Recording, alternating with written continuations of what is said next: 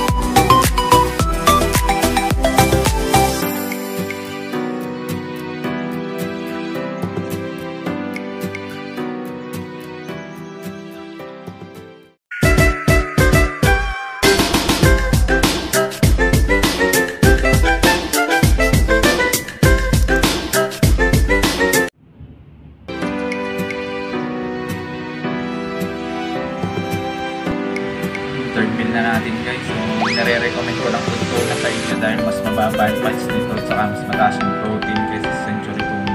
Sa tatanggalin lang natin lang is tapos lagay na natin.